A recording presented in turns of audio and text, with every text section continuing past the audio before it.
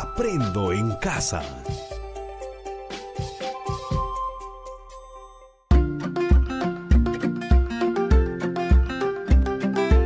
Queridos estudiantes, los invitamos a participar en el desarrollo de las sesiones de aprendizaje que hemos preparado para ustedes.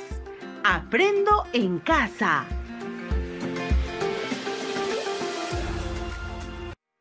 Buenos días, estimados estudiantes del quinto grado de secundaria. Reciban un cordial saludo de su amigo Edwin Huica. Es un enorme placer reencontrarnos en nuestro programa Aprendo en Casa, una iniciativa del Ministerio de Educación dedicado especialmente para ustedes en el cual seguiremos aprendiendo matemática con situaciones de la vida cotidiana. Iniciamos nuestro programa presentando nuestro desafío matemático para estas dos primeras semanas de diciembre. ¿De qué manera podemos proponer alternativas para una gestión responsable de las cuencas de tu comunidad?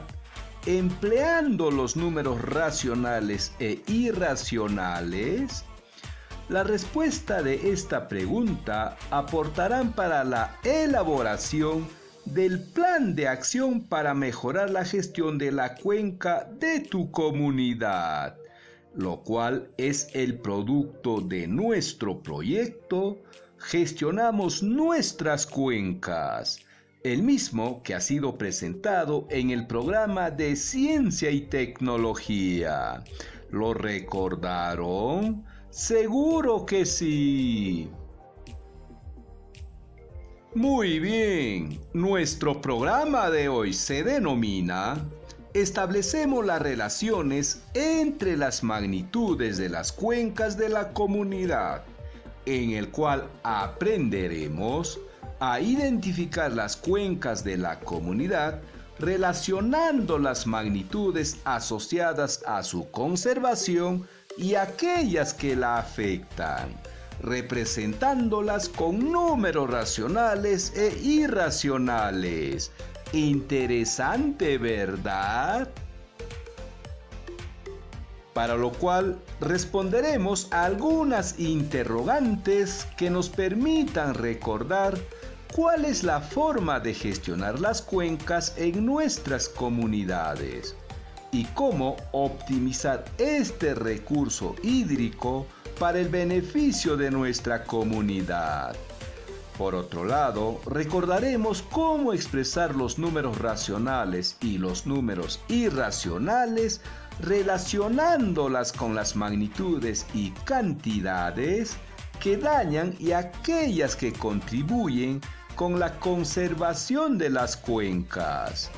Continuaremos analizando una situación sobre la siembra y cosecha del agua como estrategia para reciclar el agua como un recurso vital para la comunidad, orientando una buena gestión de nuestras cuencas, expresándolas y relacionando con los números racionales e irracionales.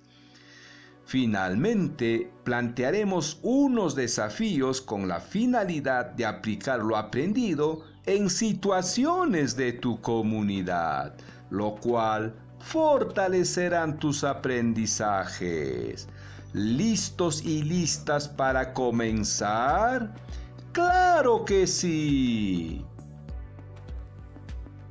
Muy bien, comencemos activando nuestros saberes. No se olviden de tomar nota. ¿De qué manera se conservan las cuencas de tu comunidad? ¿De qué manera podemos proponer alternativas para una gestión responsable de las cuencas de tu comunidad empleando los números racionales e irracionales? Puedes responder. ¿Terminaste? ¿Cómo te fue? Escuchemos algunas respuestas Iniciemos con la primera interrogante. ¿De qué manera se conservan las cuencas de tu comunidad? Rocío, estudiante del quinto grado, nos dice, en mi comunidad tenemos un lago hermoso. Cerca a ella se ubican manantiales cristalinos en los cuales nuestros animales beben sus aguas. Asimismo, las canalizamos para el regadío de nuestras chacras y un río que adorna nuestro valle. Pero en los últimos años nuestras lagunas están siendo contaminadas por gente que viene de visita a nuestra comunidad. Asimismo, los ríos y canales de riego están siendo afectados por el arrojo de basura, lo cual está contaminando las aguas y nuestros animales ya no quieren beber esas aguas. Frente a ello, es necesario que nuestras autoridades realicen campañas para el cuidado de nuestras cuencas, para evitar su contaminación y la conservación de las especies como la trucha y las ranas. Continuemos con la segunda interrogante. ¿De qué manera podemos proponer alternativas para una gestión responsable de las cuencas de tu comunidad empleando los números racionales e irracionales? Antonia, estudiante de una secundaria tutorial, nos dice, en mi colegio mis profesores me enseñan a cuidar nuestros ambientes naturales y valorar el uso racional del agua. Hay épocas que no hay lluvias y los niveles de agua de las cuencas bajan. Es cuando empieza la época de sequía, en la cual los pastos se secan, generando escasez de alimentos para nuestros animales. El agua es limitada para el uso doméstico, como el aseo personal, y para lavar nuestra ropa. Ahora, por la pandemia, Debemos estar lavándonos las manos con agua y jabón frecuentemente. Frente a ello, tenemos un déficit de agua del 61,2% y de saneamiento del 78,7% en el ámbito rural. Es por ello que cerca del 60% de nuestra población infantil presenta problemas de mortalidad asociados a problemas infecciosos y de parasitosis. Esto debido a la ausencia o mala calidad del agua potable en nuestras comunidades. En base a lo señalado, es necesario recuperar algunas prácticas ancestrales como la siembra y cosecha del agua limpiar y mejorar los pozos y cochas, reciclar el agua mediante sistemas de captación del agua de las lluvias y además de concientizar a la comunidad en el uso racional y conservación de nuestras cuencas que son fuente de vida, y no solo para el hombre, sino para los diferentes ecosistemas de la comunidad. Interesante, ¿verdad? Ahora te presento el siguiente desafío. Presta mucha atención y no te olvides de tomar nota. Ante el impacto del cambio climático en nuestro país, las familias campesinas de las microcuencas de Huacrachuco en Cusco y Mollebamba en Apurímac vienen recuperando las tecnologías ancestrales para el almacenamiento y captación del agua de las lluvias, mejorando con ello su calidad de vida.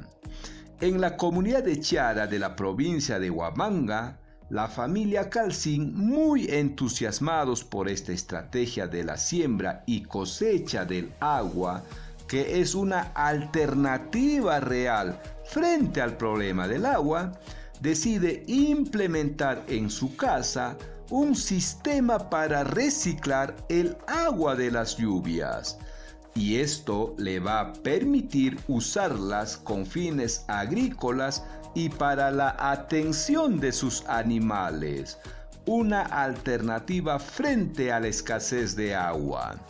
Don Fernando Calcín cuelga en todo el perímetro del techo de su casa pedazos de caña de bambú, cortados por la mitad como canaletas, que sirven para acumular y llevar el agua a un depósito cilíndrico.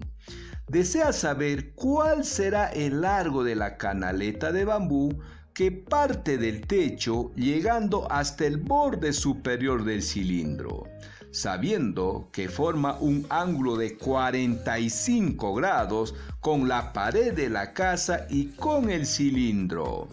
Además, el cilindro está separado a un metro de la pared y para proteger el agua desea construir una tapa de madera de 58 centímetros de diámetro.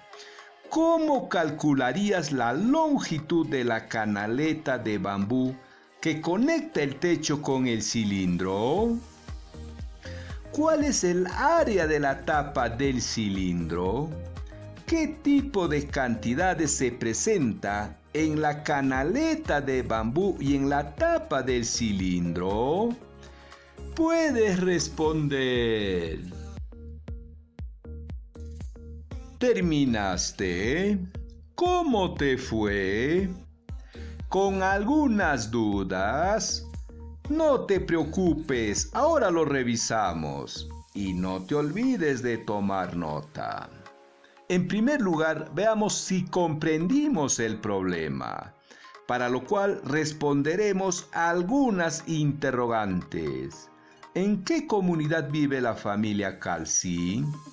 En la comunidad de Chiara de la provincia de Huamanga y al enterarse de la siembra y cosecha del agua, desean aprovechar esos conocimientos para reciclar el agua de las lluvias, utilizando canaletas de bambú y cilindros. ¿De qué manera ha instalado las canaletas en el techo de su casa para reciclar el agua de las lluvias? En el borde del techo ha colocado canaletas de bambú. Luego, con una canaleta, conduce el agua del techo a un cilindro donde deposita el agua. La canaleta forma un ángulo de 45 grados con la pared de la casa y con el cilindro. Además se sabe que el cilindro está separado a un metro de la pared y el diámetro del cilindro es de 58 centímetros. Con los datos comprendidos, respondemos la primera pregunta del problema. ¿Cómo calcularías la longitud de la canaleta de bambú que conecta el techo con el cilindro? Primero te invito a realizar un diagrama considerando el techo de la casa, el cilindro y el bambú inclinado que forma 45 grados con la pared de la casa y el cilindro. Asimismo, la distancia de la pared al cilindro es de un metro, de donde podemos graficar el triángulo rectángulo de 45 grados, donde uno de sus catetos sería la distancia del cilindro a la pared y de ese punto al techo también sería de un metro, porque se trata de un triángulo rectángulo isósceles y la longitud del bambú inclinado sería nuestra hipotenusa.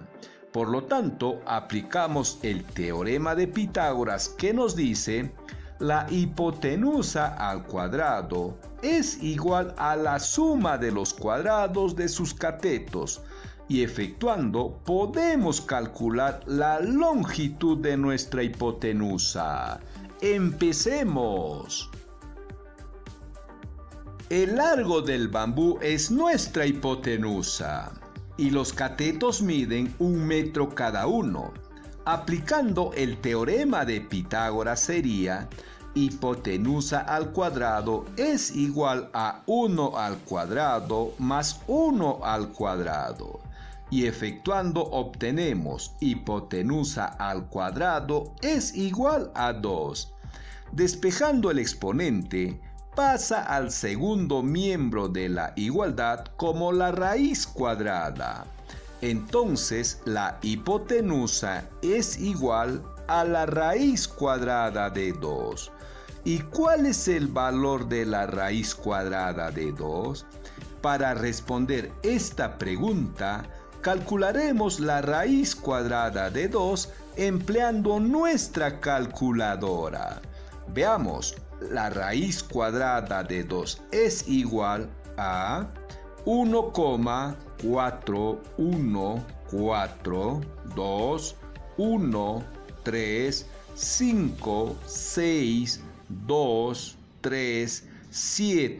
3, 7, 3, 0, 9 y continúan con más dígitos.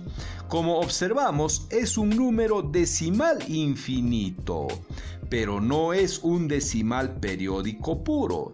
Tampoco es un decimal periódico mixto.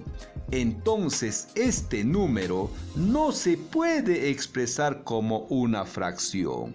Por lo tanto, no es un número racional. ¿Cómo se llama entonces este número?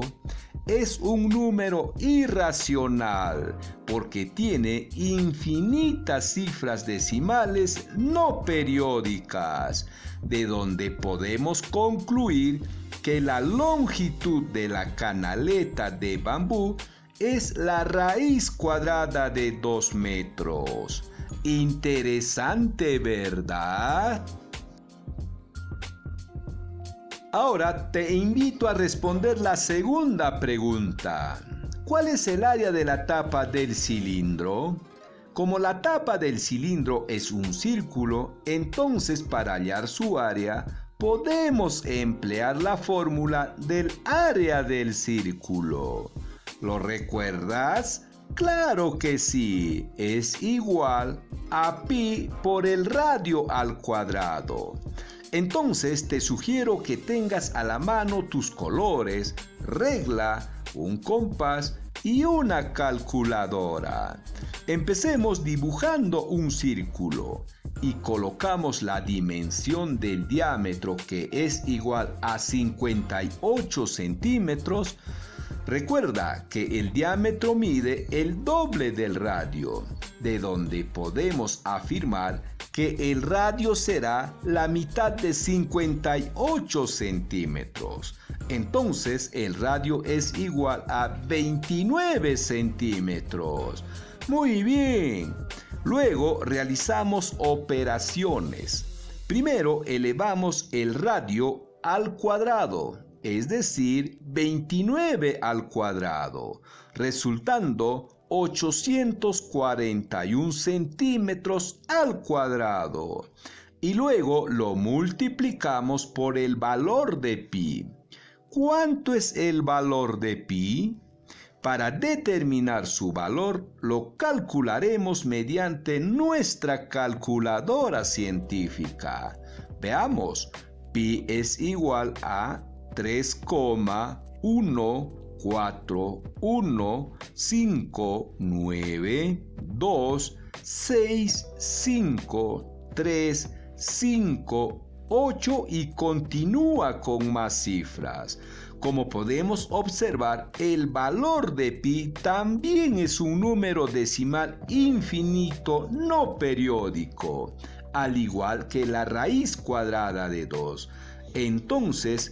pi también es un número irracional.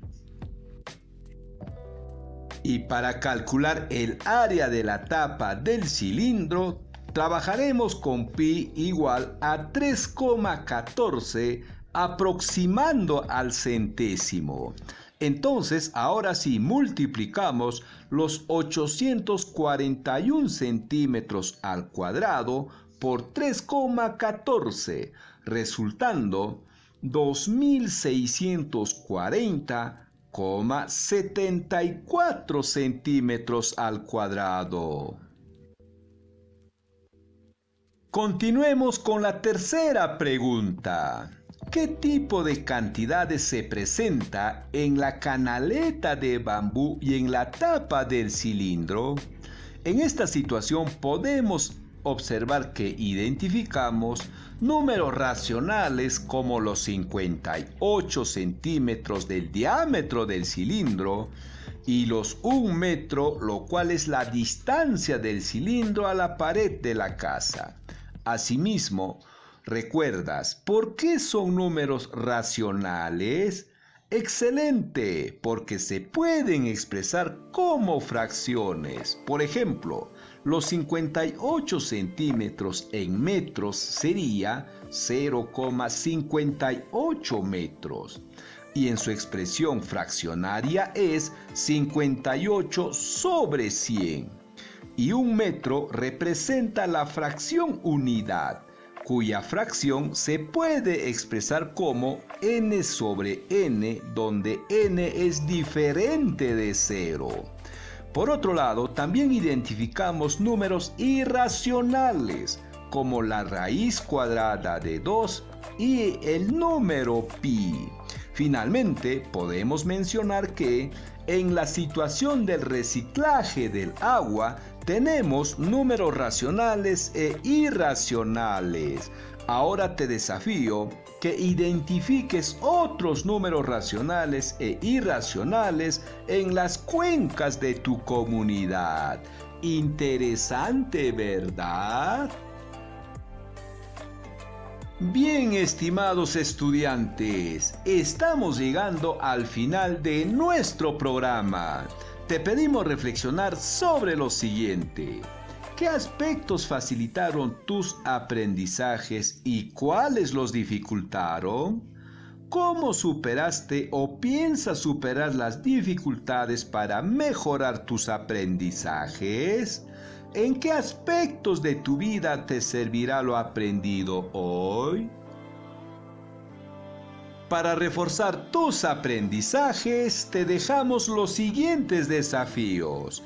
En una hoja del cuaderno elabora un organizador donde relaciones las magnitudes y cantidades que dañan o contribuyen en la conservación de cuencas de tu comunidad. Represéntalos con números racionales e irracionales. Asimismo, desarrolla la ficha de autoaprendizaje número 22 que te permitirá ampliar tu comprensión sobre las diferentes formas de expresar los números racionales e irracionales. Luego, resuelve los problemas de la página 101 del cuaderno de trabajo de matemática. Resolvamos problemas 5. Estimados docentes, valoramos tu compromiso para acompañar a nuestros estudiantes. Te sugerimos que puedas orientarlos en la elaboración de un organizador donde relacione las magnitudes y cantidades que dañan o contribuyen en la conservación de cuencas de su comunidad, expresándolos con números racionales e irracionales. Asimismo, que desarrolle la ficha de autoaprendizaje número 22, que le permitirá ampliar su comprensión sobre las diferentes formas de expresar los números racionales e irracionales. Estimados padres de familia, reconocemos los esfuerzos que realizan en la educación de sus hijos. Sigamos acompañándolos en la organización de su espacio y horario de estudios, verificando que cumpla con las actividades que se dejan en el programa radial y los guarde en su portafolio de evidencias Trátalos con amor, paciencia y mucho respeto, lo cual fortalecerá una buena convivencia familiar. Muy bien, estimados estudiantes, docentes y padres de familia. Nos reencontramos en nuestro próximo programa y por esta misma emisora radial. Aprendo en casa. Ministerio de Educación. Gobierno del Perú. El Perú primero.